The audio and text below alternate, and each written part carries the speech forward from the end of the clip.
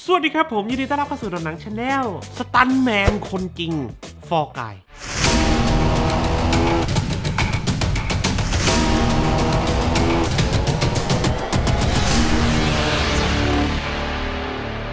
แต่ก่อนจะไปฟังคลิปนี้ ฝากทุกคนกดไลค์กด Subscribe เพื่อเป็นกำลังใจให้ผมด้วยนะครับ แต่ถ้าใครกดไลค์กด Subscribe แล้ว ขอบคุณมากจริงๆครับ นั่นคือกำลังใจชั้นดีในการทำคลิปของผมเลยนะ นี่มันคือชื่อไทยแบบ Official ไหมสตันแมนคนจริงเนี่ย มันดูแบบเหมือนอะไรดีว่าเชี่ยชื่อไทย เออพระเอกเป็นสตันแมนสตันแมนคนจริงกัน เอาสตันแมนคนจริงกัน เอาเอางี้ ตอนผมได้ดูเนี่ย มันก็โค้งสุดท้ายแล้วนะ โค้งสุดท้ายแล้วจริง ๆ คือเหลือรอบที่ให้ดูไม่มากและ เอางี้ดีกว่า ใครที่ยังไม่ได้ดู รีบไปดูหนังเรื่อง Fall Guy อยู่ใน position ของผมที่ควรดู ยิ่งถ้าใครเป็นคนที่ชอบดูหนังแอคชั่น pure action นะ เออ คุณลองนึกถึงหนังเก่าๆ สมัยก่อน พวกแบบหนังแอคชั่นอาร์โนลด์ ซิลเวสเตอร์ สตอลโลนเจ็ตลีหนัง pure action แบบนั้นอะ เออ มีปมประเด็นเล็กๆ น้อยๆ เพื่อให้เราได้ลุ้นได้ติดตาม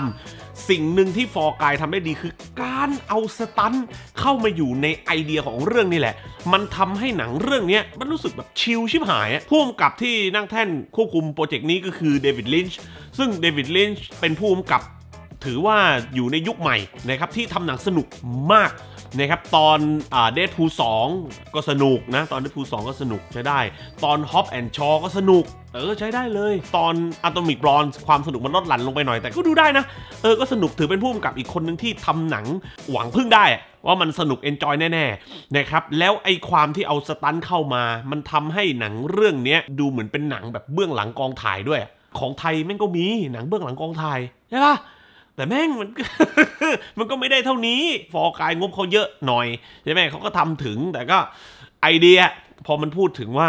เป็นหนังที่มีเหตุการณ์เบื้องหลังกองถ่ายปั๊บส่วนใหญ่แล้ว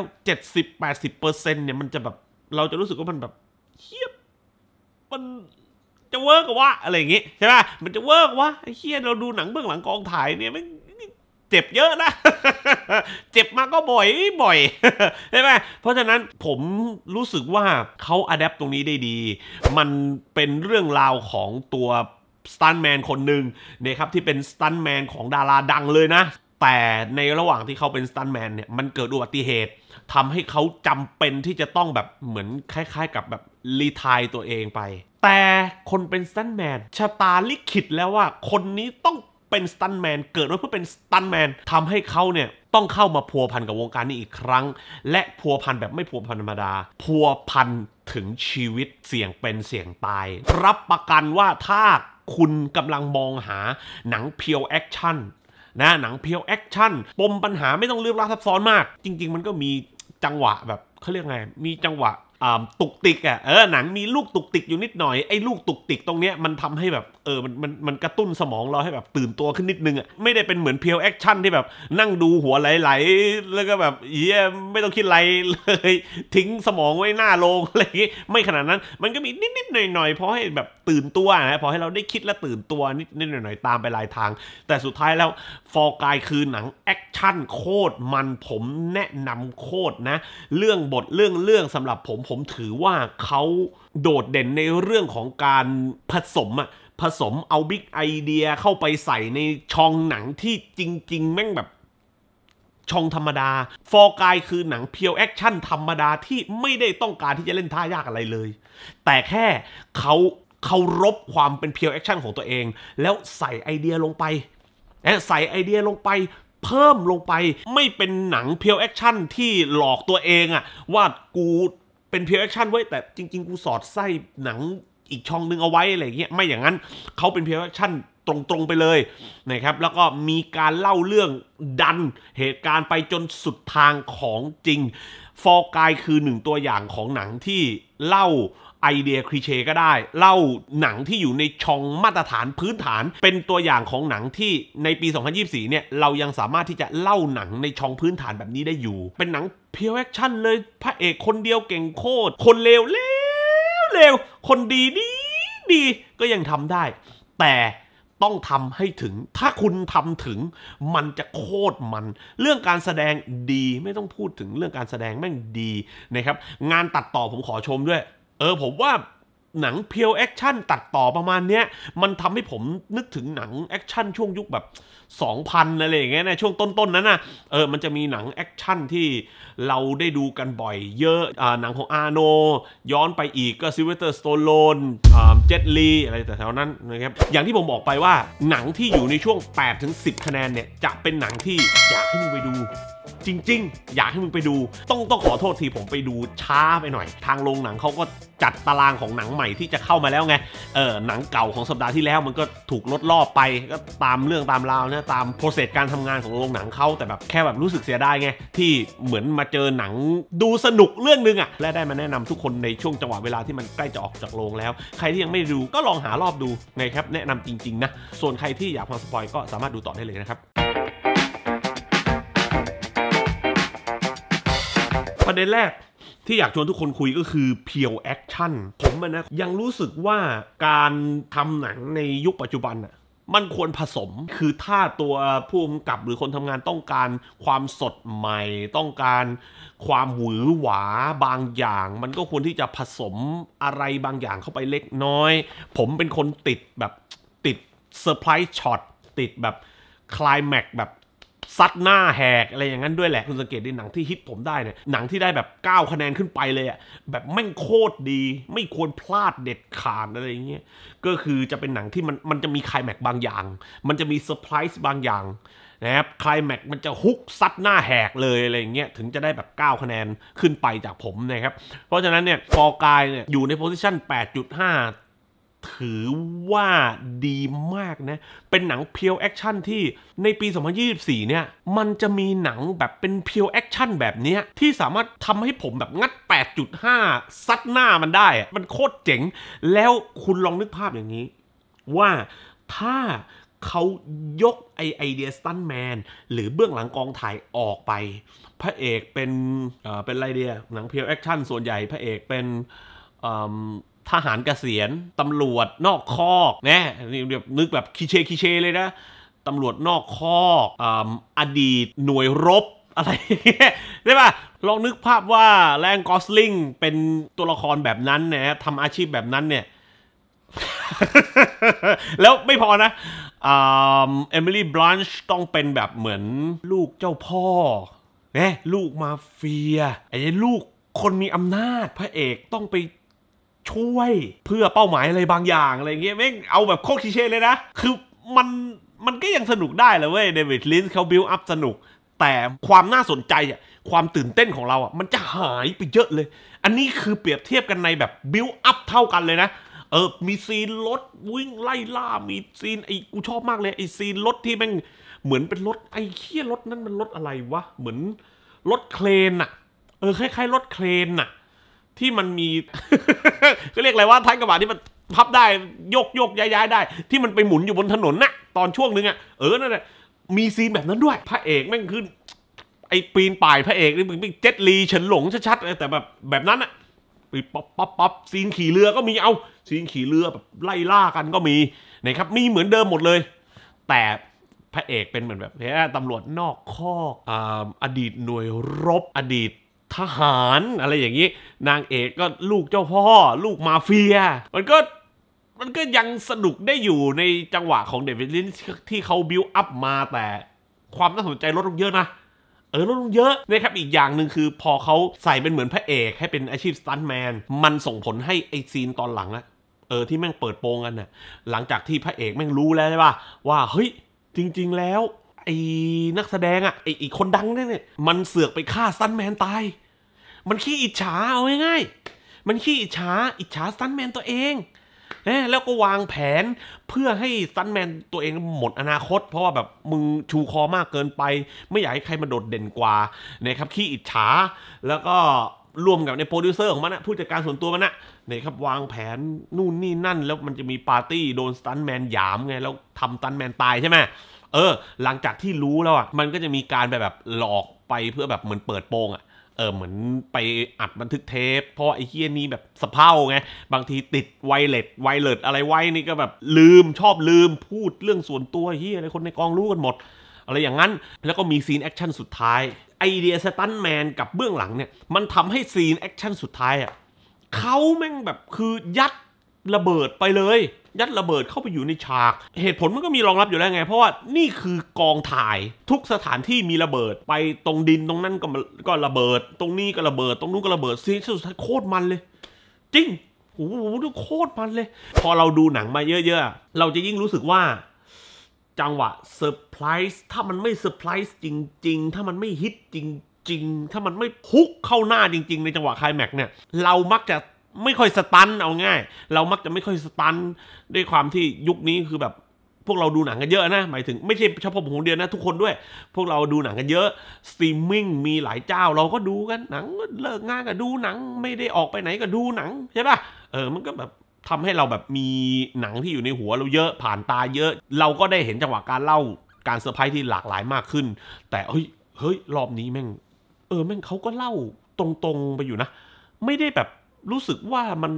เขาจะพยายามเซอร์ไพรส์หรืออะไรเขาแค่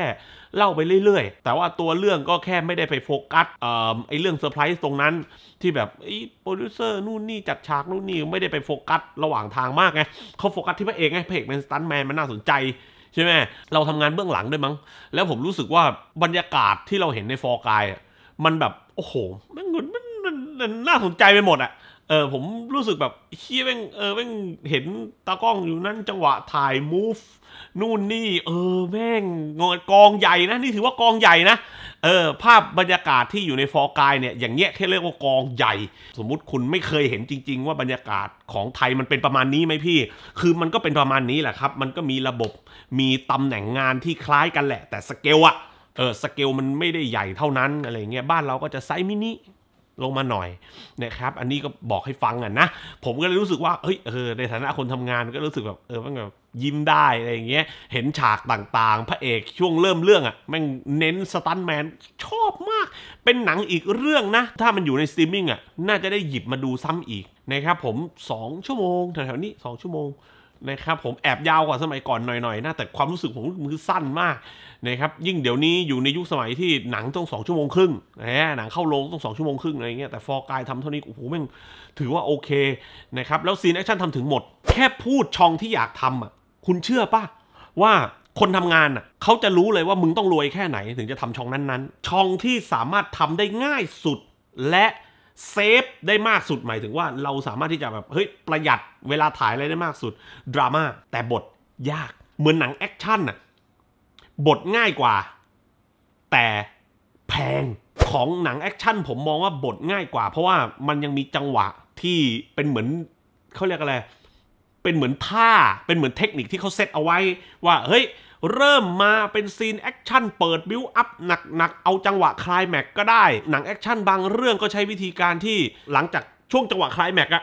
นั่นแหละเอามาเปิดเลย ช่วงจังหวะคลายแม็กแล้วเอามาเปิดปั๊บมันจะได้ peak แล้วแบบ hook เปรี้ยงเหมือนเป็นการเซตก่อนว่า จุด peak สุดของหนังเรื่องนี้คืออะไร แต่คุณอยากรู้ไหมว่าก่อนหน้านั้นเกิดอะไรขึ้นฟรุตแฟตแบ็กแล้วเริ่มเล่าเรื่อง อะไรอย่างเงี้ยคุณเคยเห็นว่าหนังบางเรื่องจะเป็นอย่างนี้นะครับหนังแอคชั่นมันจะมีท่าพวกเนี้ยแต่ของดราม่าไม่มีอย่างนั้น ดราม่าไม่มีนะที่แบบเอามาเล่า เอ้ย ดูท่านี้ของดราม่าท่านั้น มันไม่ได้มีชัดเจนแบบนั้น เพราะฉะนั้นดราม่าเนี่ยจะถูกกว่า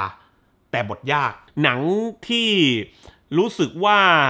อยู่ใน position กลางๆ ระหว่างดราม่ากับแอคชั่นเนี่ย ก็คือพวกหนังแบบ thriller หนัง horror หนังผียังไปทางหนังแอคชั่นนะ หนังผีไปเลยอะหนัง horror หนังผีไปเลย หนังแหวะ หนังแยะที่พวกมึงพูดกันเนี่ย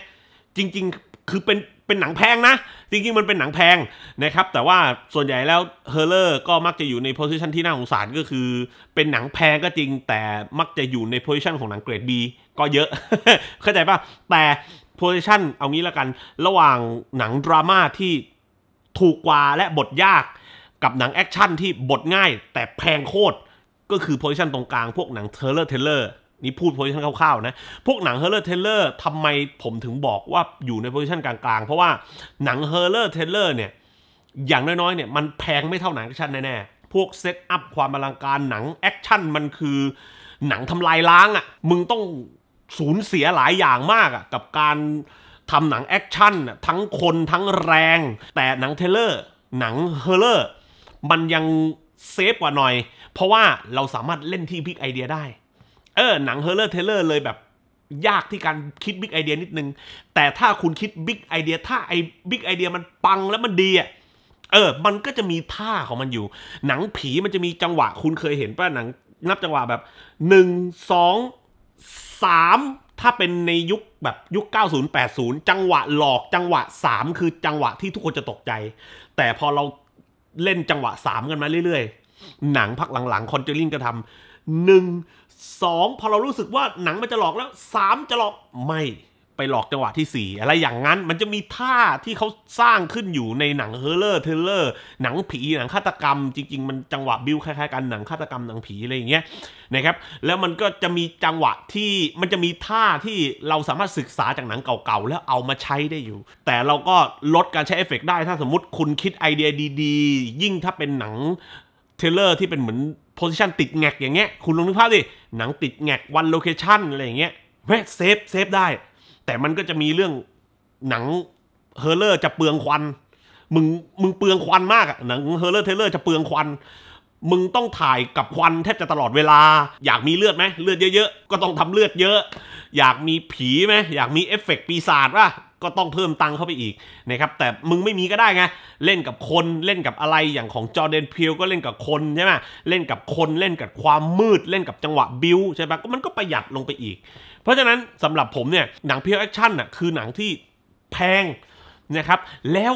เป็นหนังแพงที่ไอ้เฮีย Fall Guy อย่างเงี้ยไอ้สัตว์แม่งดูดีโคตรเพราะฉะนั้นนะครับผมภาพยนตร์เรื่อง Fall Guy นะเรื่องเรื่องเรื่องบท ผมมองว่าอยู่ใน position ที่ดี